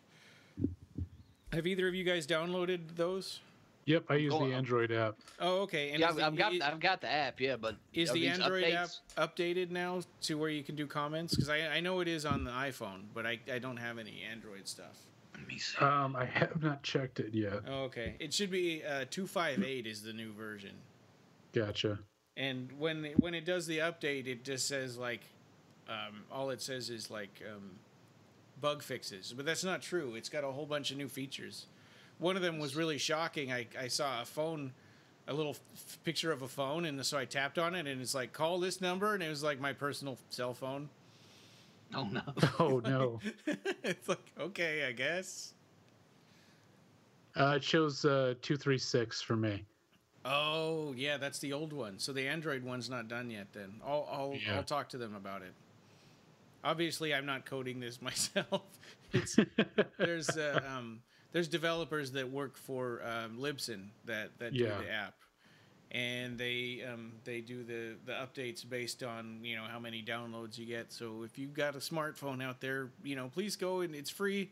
Download the iOS and Android app, and particularly if you don't regularly listen to podcasts, uh, then you know, and you don't use podcast aggregator apps and stuff, maybe get the app and try it that way. yeah. And that's kind of where we're at with the Kickstarter. Um, coming up next, we will be talking about Hellraiser: The Toll. I'm trying to work out with Mark Miller, the author, uh, when he can join us for the podcast.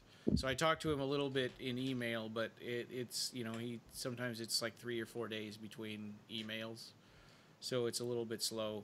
Um, but uh, we're working on that, and um, we can grill him a little bit about Clive Barker at Texas Frightmare Weekend, maybe, and what else is going on with at Seraphim. I'd like to ask him if uh, the Hellraiser the Tolls the start of a new series of books that Yeah. might involve uh, uh, Harry D'Amour and Kirsty. Kind of the way. Oh yeah, Uh, right, because it's seems to- it's set up as a prequel to the Scarlet Gospels. Yeah. It would be awesome. Yeah. Um, Sleepwalkers, we'll probably be doing an audio commentary on that one pretty soon. Uh, originally, I was thinking we would be doing Barn of the Blood Llama, but that movie is so hard to get a hold of that we, you know, we're going to push that back a little bit. Uh, we'll have news episodes. The Duels of Blood are going to be coming back really soon. So actually, I wanted to talk to you about that. If you're out there, um, I started a list of. It's going to be all Hellraiser this time. So, Hellraiser characters and Cenobites and stuff like that. So, um, And I, I added the. You asked me to add the. Added the uh, Stygian Inquisition to the. oh List yeah, there. oh I see them. Yep, you got uh, Stitch Nice. and the Auditor, the Assessor, the Jury, the Butcher, and the Surgeon. Yes, so Cool. that'd be cool. Yeah, and there's another Cenobite called the Surgeon, right? That's completely different from other sequel Hellraiser sequels, isn't there? Mhm. Yes, there is a. Yeah. one- Yeah. You talk about the one from Part Six, Yeah. Yeah. Yeah. the one Hellseeker. Yeah. Yeah. So maybe we could put the surgeon parentheses like Hellraiser um, Judgment Yeah. Mhm. or 11 or 10 I guess it would be. Yeah, just put 10. 10. Okay. And um, yeah, so we're looking we we need 64 Hellraiser characters. So um, there's lots to choose from. You can go through the from the movies and from the um, and uh, from the the comic books. So um, yeah, let's let's see how many we can get on here, and we'll kind of mix them all up and put them against each other and do a new Duels of Blood. Um, I think our last one was just a little bit too um, too niche, you know, with all the book characters. So this time we're going uh, we're going for the Hellraiser and Clive Barker fans. So I think it should be a little more exciting. And um, so who, that's was the, the, who who won it last year? uh, it was weird. It was a weird kind of. Yeah, it was. Um, oh gosh, what is his name? He's the the bad guy with one foot from Abarat. Um, I haven't. I don't he's know. got he's got sword sheaths built into his back. Oh, that's uh, that guy from the first book that was chasing. Uh, Yes. Why I don't know The why my mind is blanking on his name. Mendelson Shape. It's Mendelson yeah, Shape. Mendelson yeah. Shape. which was really weird. Um, he he uh, his the final round was him against Mahogany, and he just completely obliterated Mahogany for some reason. I think, and you then felt like and then we and then we put him against last year's winner, which was Julia Cotton, and he got ninety five percent of the votes. so I think I think what really what happened is there's a Mendelson shape like super fan that that was clicking vote like every five minutes to make this happen. yeah. Jeez. kind of sounds like that story when they wanted to kill off Robin. You know, in the uh, uh, Death in the Family comic, a lot of people said one guy was, uh, if you call in, if you want Robin to die, call this number, and some people feel like somebody was just calling. This, this, It was Oh. the same guy calling over and over to have him die. Jason Todd, the Jason Todd version, Oh, because a lot of people didn't like him. That so he got Oh, he got killed based off, you know, like a phone call if you just made to DC. wow. Yeah. So was he really dead for good in the series then? Well, up until uh, they came back with I think Hush. Yeah, when uh, Jim Lee came back. Yeah. He Jim Lee came and back Jeph as a Loeb, right? yeah, exactly. Which is a really good series. Yeah, it was it was tremendous. I don't Yes. think I've ever even read one Batman comic. The only Batman comics uh, experience I have is those that those memes where Batman is slapping Robin. You need to read uh, The Dark Knight Returns by Yeah. Frank Miller. Yeah, You need to at least read that. yeah, that's like that's that a one. classic. And uh, um, the Long Year one. Halloween. Yeah, Long Halloween, Dark Victory's good. Mhm, There's a lot of good stuff out there with Batman in it. Yeah,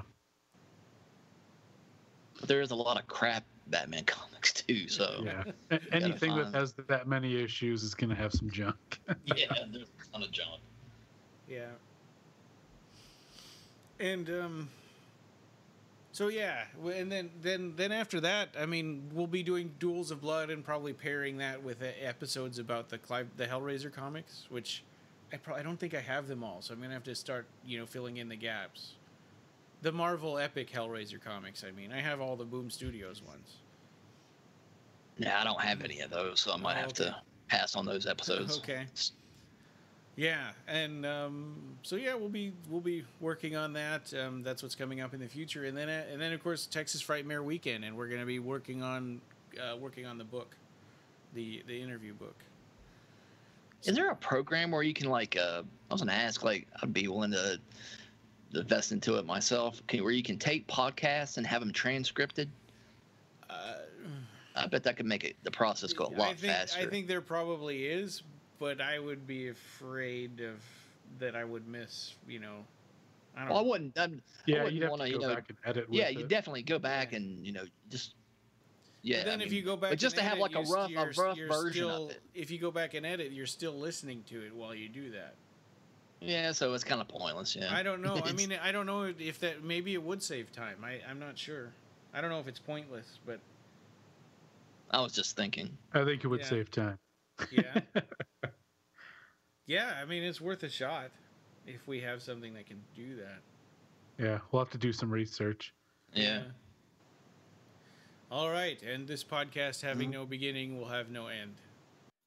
Find the show notes for this episode and join the discussion over at www.clivebarkercast.com, where we have news and links to all the ways you can connect with us. You can subscribe on Apple Podcasts, Google Play, and every other place you can find podcasts. The Clive Barker Podcast is an independent editorial podcast and news blog that is not affiliated with or under contract by Seraphim Inc. This is a labor of love by the fans for the fans. Thanks for listening.